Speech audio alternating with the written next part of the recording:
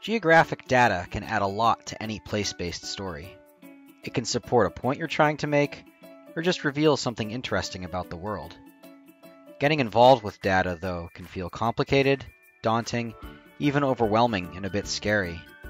The good news is the thematic mapping feature in StoryMaps offers a built-in way to configure simple, data-based maps in just a few minutes without any expertise required.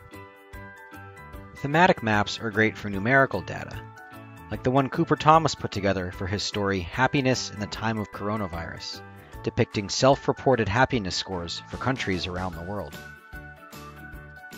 They can also incorporate categorical data. The story Charlie's Crystal Ball, for instance, uses a thematic map to relate laws governing the sale of alcohol in each US state.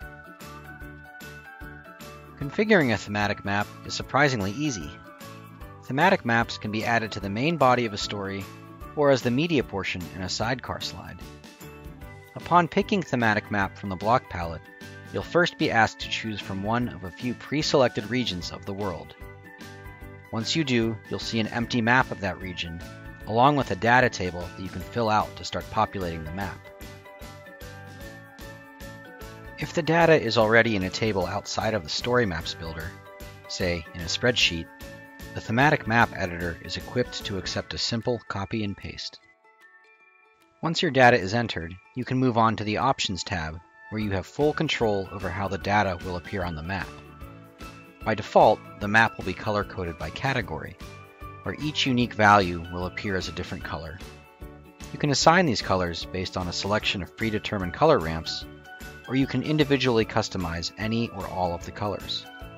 You can also configure the color of the areas that don't have a value. Additional options include keeping the legend visible or not, and opting to disable the rollover pop-ups, sensible for a map like this one with just a few extremely simple categories. Another possibility is to completely hide any areas with no values. That can be a neat trick to focus the map on a particular region within a region for instance, this map depicting the Appalachian Trail's mileage in each state that it passes through. Notice that the visualization type is now set to color-coded by number, and that the colors now follow a gradient rather than being tied to specific values. This opens up even more options, such as whether to display the color ramp as a continuous gradient or to give it a set number of discrete hues. For the latter, you can dig even deeper with determining how those steps are broken down. Finally, one more visualization style for numerical data is to display it via proportional symbols.